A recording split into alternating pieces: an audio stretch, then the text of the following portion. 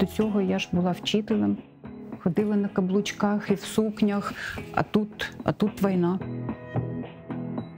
Я Олександра, офіцер відділення морально-психологічного забезпечення військової частини.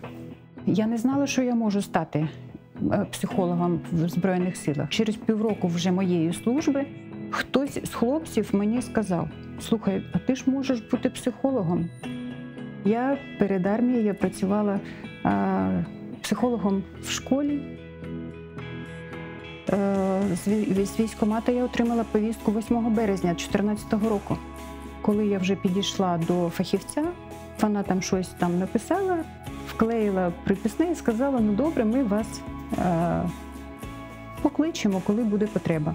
Я сказала, що я хочу зараз, і жіночка вона розплакалася. Чоловіки відмовляються і кидають е, мені в обличчя військові квитки. А, от, а ви жінка, і ви кажете, наполягаєте на тому, щоб я вас взяла в армію.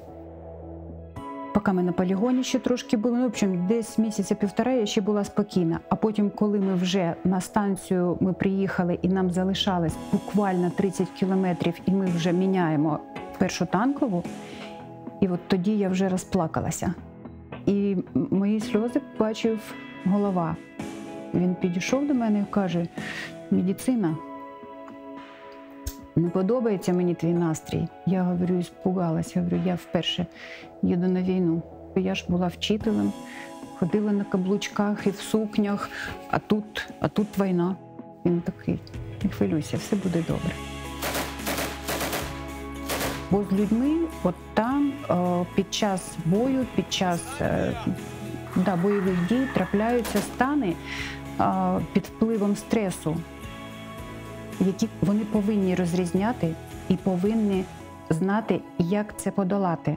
Нам необхідні дуже добрі фахівці, психологи. І я знаю, як працюють, що є цивільні психологи дуже хорошого рівня, дуже високого рівня. От, і ми їх чекаємо.